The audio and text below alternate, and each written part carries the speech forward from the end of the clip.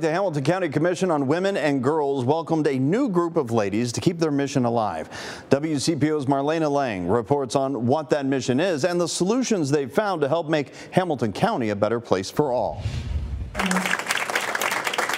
Hamilton County Commissioner Denise Driehaus was the first woman elected to the County Board of Commissioners in 2016. She began the Hamilton County Commission on Women and Girls after hearing community concerns when campaigning. I heard a lot from women in particular and girls who said we don't feel heard at the county, we don't feel like our issues are being addressed. Now the commission is a cycling group of diverse women and girls finding solutions for their own communities. And so what the commission does is from August to May, they spend the time identifying what those needs are, doing community interviews to better understand what those needs are. From there, the commission then writes policy for local and even state government to start creating permanent solutions. We were influential in getting a state law passed where every school in the state of Ohio, both private and public, have to have access to free period products in their schools. And one of their newest possible solutions? A girls' court which designs more wellness treatments instead of